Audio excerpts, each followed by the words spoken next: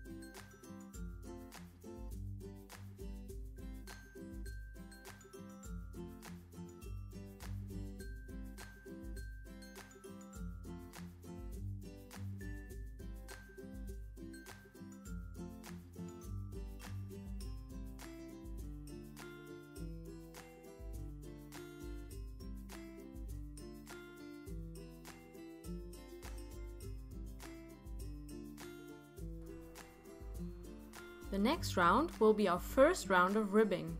So from now on the pattern will be knit 2, purl 2.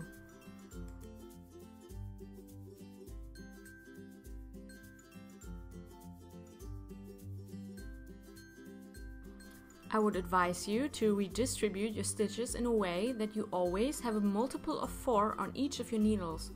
That way you don't have to keep track of where you are in your knit 2 purl 2 pattern.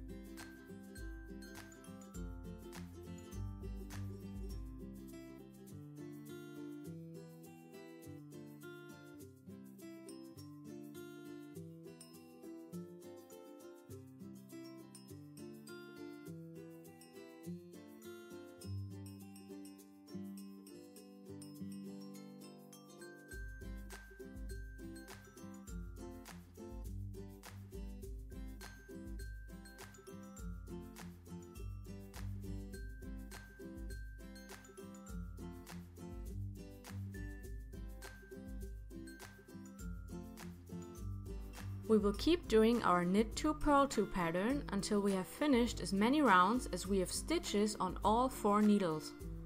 For me that will be 64 rounds. In the next video I will already show you how to bind off for the heel part. I hope this was helpful. If you have any questions please leave a comment below and thanks for watching!